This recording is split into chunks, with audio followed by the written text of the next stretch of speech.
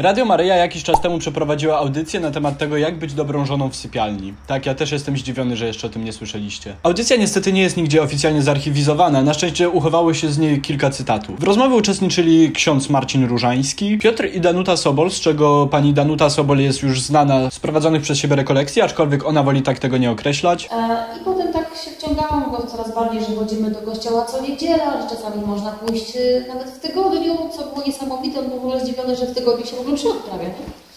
Już od 2018 roku organizuje wydarzenia, które nazywają się Jak być dobrą żoną w sypialni. Całość natomiast prowadził Lech Polakiewicz.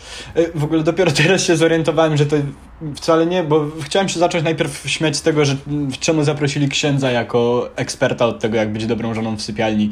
Później pomyślałem, że no to musi być oczywiste, że on prowadzi tę całą rozmowę, no bo po co innego by tam siedział. Okazuje się, że nie, że on też był ekspertem. Żona nie może uważać swojego męża za agresora czy potencjalnego siłowela. Ma on prawo do domagania się od żony współżycia seksualnego. To zdanie jest maksymalnie szkodliwe i obojętnie, czy zostało ono wycięte 30 razy z kontekstu, czy jak tam się autorzy z tego będą tłumaczyć, generalnie czytając samo to zdanie wynika z niego, że mąż nie może zgwałcić żony, no bo przecież są małżeństwem. To jest oczywiście kompletną bzdurą i mam nadzieję, że nie ma tutaj ani jednej takiej osoby, która by miała jakiekolwiek co do tego wątpliwości. Jest to prawnie karalne, a jeżeli żona uważa swojego męża za agresora czy potencjalnego gwałciciela, to wydaje mi się, że to nie z tą żoną jest coś nie tak. To znaczy przeważnie ludzie raczej nie zakładają tego o swoich drugich połówkach, więc jeśli coś w ogóle jakiegoś takiego powstaje w czyjejś głowie, to prawdopodobnie nie ta osoba zrobiła coś nieodpowiedniego. Kobieta to sanktuarium życia, a sypialnia to jest jeden z ołtarzy. Zakładam życie w trójkącie. Pan Bóg, mój mąż i ja.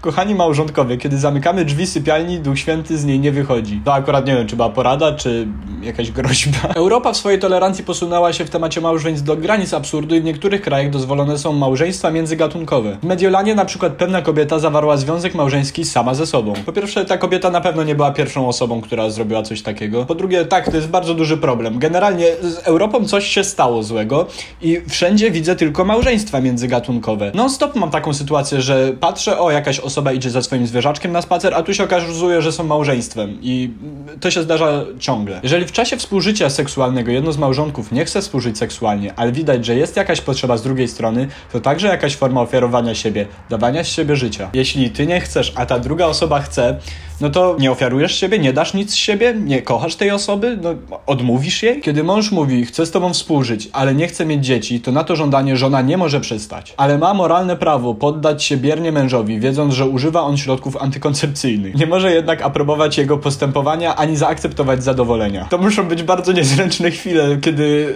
y, taka żona stara się nie aprobować zadowolenia swojego męża. Ja mam absolutną świadomość tego, co za chwilę powiem, ale naprawdę chciałbym to zobaczyć. Czyli generalnie żona nie ma prawa odmówić, no bo przede wszystkim to nie może uważać swojego męża za agresora, a po drugie, jak się nie chce, ale się do tego zmusza, no to to jest właśnie forma ofiarowania siebie i dawania z siebie życia. Równocześnie nie wolno jej jest się zgodzić na żadną antykoncepcję, ale ma moralne prawo poddać się biernie mężowi, wiedząc o tym, że on jej używa. No a po wszystkim wiadomo, nie wolno jej zaakceptować jego zadowolenia. Kiedy krzyczę na mego męża, on zwraca mi na to uwagę, to mówię, a ty się z tego ciesz, bo to jest dar od Pana Boga. Bo jak ja na ciebie krzyczę, to to jest szansa na nawrócenie. Pani Danuto Sobol, jak na kogoś, kto już od lat prowadzi kursy o tym, jak być dobrą żoną, nie wiem, czy podsuwanie rozwiązania, jak na ciebie krzyczę, to dobrze, bo wtedy masz szansę się nawrócić.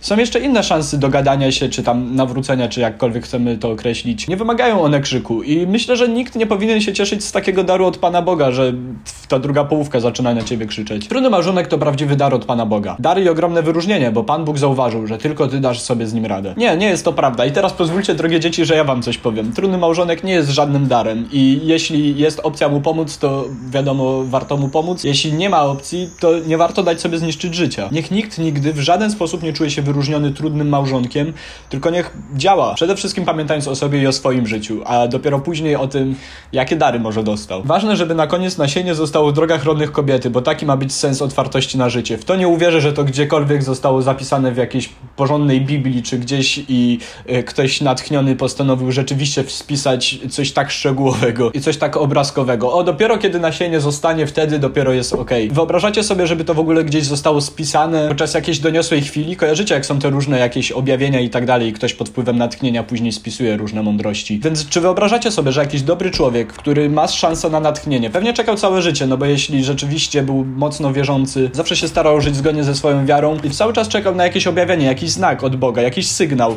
I Bóg przychodzi i mówi mu, ważne, żeby na koniec nasienie zostało w drogach. No, nie wydaje mi się, żeby taka osoba była jakoś szczególnie ukontentowana z tego, że otrzymała taką wiedzę. Jeżeli wyeliminujemy doświadczenie krzyża, czyli cierpienia i dojdzie do czegoś takiego, że tylko kiedy mam ochotę, to współżyję, a jak nie mam ochoty, to nie współżyję. I wtedy może być bardzo poważny problem, co? To zdanie byłoby prawdziwe, gdyby było w odwrotną stronę. Jeśli doświadczasz współżycia wbrew swojej woli, jeśli kiedykolwiek czujesz, że musisz to zrobić, czy jak tego nie zrobisz, to cokolwiek się stanie, wtedy rzeczywiście jest poważny problem. Ale już nie będę się powtarzał, bo myślę, że to już sobie ustaliliśmy. Jestem tylko zdziwiony, że wygadywanie tak szkodliwych głupot, które są niezgodne z prawem, nie jest jakoś karalne. Dla większości z nas pewnie to będzie ja pierniczę, ale ciemnogród, hahaha, ha, ha, śmieszne w ogóle co oni mówią, ale jest cała masa osób, zwłaszcza w tym starszym pokoleniu, którym tego typu rzeczy były wtłaczane przez całe życie. I rzeczywiście często według tego żyją. I to jest rzeczywiście poważny problem. Oprócz tego w dzisiejszych newsach trzy newsy o TVP, jeden innymi o tym, jak wezwali policję, o reprezentantach Polski wpływaniu na olimpiadzie, a także wiele innych. Jak zawsze, nie mamy czasu, zaczynajmy. Pierwsza ważna informacja. Kanał Uwaga Naukowy Bełkot został usunięty z YouTube'a. Uwaga Naukowy Bełkot jest popularnym kanałem popularno-naukowym na polskim YouTubie, bardzo dobrze realizowanym przez Dawida Myśliwca, znaczy to akurat jest moje zdanie. W bardzo dobry sposób tłumaczy masę zjawisk z naukowego punktu widzenia. Ale niestety o pierwszej w nocy na jego kanale zaczął lecieć live promujący kryptowaluty, co oznacza, że mu się ktoś włamał. Dostał telefon o czwartej w nocy, że jest jakiś przypał, obudził się, pozmieniał wszystkie hasła, powywalał dostępy wszystkim, którzy nie są nim, poodpinał wszystkie możliwe rozszerzenia, wtyczki na aplikacje, które miały jakieś dojście do YouTube'a i do jego konta Google. Prawdopodobnie udało mu się załatwić całą sytuację i wywalić ze swojego konta tych skamerów, a YouTube, żeby jakoś pomóc i tak dalej, wysłał mu informację, że usuwają jego kanał. Swoją drogą dziwne to jest, jak to niby działa, bo te akcje, że właśnie uruchamia się jakiś kryptowalutowy live już trwają przecież od lat i w kółko się dzieją na jakichś poważniejszych, większych kanałach. I czy naprawdę jest aż tak trudno zrobić jakiegoś bota, który widząc, że na kanale o tematyce jakiejś, w tym przypadku popularno-naukowej, nagle o nietypowej godzinie, pierwszej w nocy zaczyna lecieć live, mimo że że nigdy na tym kanale nie było live'ów z tego co wiem. I tak bardzo mocno odstaje to od wszystkiego, co się do tej pory znajdowało na tym kanale i YouTube jak nie potrafi rozróżnić, że to musiał się ktoś włamać na ten kanał. Dawid, nie znamy się, ale mam nadzieję, że mogę sobie pozwolić, rozpoczął akcję, która ma na celu wywarcie społecznej presji na YouTube'a i generalnie, żeby o tym się jak najwięcej mówiło, żeby YouTube jak najszybciej przywrócił jego kanał. No więc ja też chciałem wziąć udział w nagłaśnianiu tego, może mi też kiedyś będzie potrzebna pomoc. Oddajcie bełkot, następny news. Pamiętacie, jak parę hop news temu mówiłem o tej wokalistce, która wystąpiła w TVP Pytanie na śniadanie wywiesiła, znaczy wywiesiła, wniosła tam flagę tęczową, no to realizator zatrudniony przez TVP, który był odpowiedzialny za emisję tego odcinka, został zwolniony. Że nie dopilnował i taki przekaz poszedł w TVP. Muszę powiedzieć, że jakoś strasznie trudno mi jest jemu współczuć, bo to jest już któryś news o tym, że albo TVP źle traktuje tych mniej widocznych pracowników, albo że tutaj się jakoś nieciekawie zachowali wobec nadawcy, z którym współpracowali od dłuższego czasu. I z jednej strony jasne, przykro mi, jeśli się tak dzieje, ale z drugiej ktoś, kto przykłada rękę do tego całego mechanizmu, czucia na siebie ludzi i tak dalej, ja już o tym chyba nawet kiedyś mówiłem, więc nie będę się tu jakoś bardziej rozwodził. W całej sytuacji niesamowite jest też to, że rzeczywiście żyjemy w kraju, w którym jeśli w państwowej telewizji, która ma takie założenie, że ma być emitowana dla wszystkich Polaków, pokaże się flagę mniejszości, do której należy bardzo wiele Polaków, to jest wywalana osoba odpowiedzialna za to, że to się pokazało. Co oznacza, że w państwowej telewizji nie można generalnie pokazać tęczowej flagi. Jest to niesamowite, do jakiego momentu już nam się udało dojść. A skoro jesteśmy przy tęczowych flagach i TVP, przed siedzibą TVP w Lublinie aktywiści z Młodej i Nowej Lewicy narysowali kredą na chodniku tęczową flagę, a obok napisali Czarnek Au. Według relacji aktywistów najpierw podszedł do nich ochroniarz i powiedział coś w stylu, że zaraz jednemu z nich pizgnie, a później okazało się, że sytuacja jest na tyle niebezpieczna i szefostwo tak bardzo się przejęło tym, co się tutaj dzieje, że nakazali ochronie wezwać policję, która przyjechała na miejsce i o dziwo nie stwierdziła żadnego popełnienia przestępstwa. Nie wiem, wydaje mi się, że to no, minimum jakaś obsesja musi być, jeśli rzeczywiście ktoś się czuje tak bardzo zagrożony narysowaną przed wejściem y, kredą na chodniku yy, tęczą, że aż wzywa policję na takich, to wydaje mi się, że coś tutaj jak nie do końca. Ciekawi mnie tylko, czy to nie jest jakieś nieuzasadnione wzywanie policji, czy za to nie ma mandatu, no bo trudno mi wyobrazić sobie jakąś głupszą sytuację, do której można wezwać policję. Ale o żadnej karze za to do tej pory jeszcze nie usłyszeliśmy. Następny news. Kanie miał dzisiaj wydać Dondę, to znaczy wy to chyba oglądacie dzień później, ale y, miał wydać Dondę, czyli płytę, którą już zapowiada i zapowiada i nigdy jej nie ma. No i tak dla odmiany dzisiejszy dzień przyszedł i nadal jej nie ma. Więc y, mówię o tym, bo zadałem pytanie na Instastory na hop.yt, jakiego newsa byście chcieli zobaczyć Hop News. I informacja o tym, że Kanie znowu nie wydał płyty była jedną z częściej powtarzających się, dlatego informuję was o tym, że nie została wydana płyta. Polscy pływacy już od dawna narzekają na Związek Pływaków, tak to nazwijmy. Podobno organizacja tam już od dawna zupełnie leży, nie mówiąc już o tym, żeby zapewnić dobre warunki pływakom do trenowania, czy też na przykład o tym, żeby w zawodach pływaczych były jakieś normalne nagrody. Nie mówi się chyba zawody pływacze, tylko zawody pływackie. No i teraz, kiedy zaczyna się olimpiada, to Polski Związek Pływacki ma za zadanie zgłosić pływaków, którzy będą startować z Polski. Okazało się jednak, że złożyli zły dokument, przez które część osób, które już zdążyły pojechać, polecieć do Tokio i przygotowywać się tam do olimpiady, która już za chwilę miała wystartować i na którą czekali i trenowali pewnie całe życie, dowiedziała się, że musi wrócić do domu i że nie wystartuje na tej olimpiadzie. Wszystko przez to, że został złożony zły typ papierka. Na ten temat wypowiedziała się już Alicja Tchórz. Emocje jeszcze nie opadły i na pewno długo jeszcze nie opadną. To, co się wydarzyło, nie powinno mieć miejsca. To dopiero do nas dociera i będzie się ciągnęło przez długi czas. Ja się obawiam najbardziej tych momentów, kiedy odpalę telewizor i będę miała dopingować swoich kolegów i koleżanki, a nie będę mogła dołożyć cegiełki od siebie. Prezes ani nie stawił się na lotnisku, ani z nami nie porozmawiał. Wypadałoby się z nami skontaktować. Oświadczenie wydane do mediów to przerzucanie się winą. Nie jest w stanie przyjąć tego na klatę i powiedzieć, że zawalił związek. Nie powinien tak ryzykować nami. Informacja o tym, że igrzyska są przeniesione o rok, były trudną informacją. Podjęłam rękawice z młodszymi zawodniczkami. Skończyło się jak się skończyło. Nie wyobrażam sobie, żeby mogła dalej współpracować z Polskim Związkiem Pływackim i startować pod jego egidą. Myślę, że trudno jest nam sobie wyobrazić emocje tych sześciu osób, które za chwilę miały spełnić swoje prawdopodobnie jedno z większych marzeń, bo nie ma niczego większego niż olimpiada dla sportowca. I już było tak blisko, już byli dosłownie na miejscu i okazało się, że muszą wrócić do domu. Nieprawdopodobne i mam nadzieję, że ktoś tam rzeczywiście poniesie za to odpowiedzialność. Następny news. A co byście powiedzieli na jakieś czarnek news? Dawno nie było czarnek news, już chyba ze dwa odcinki.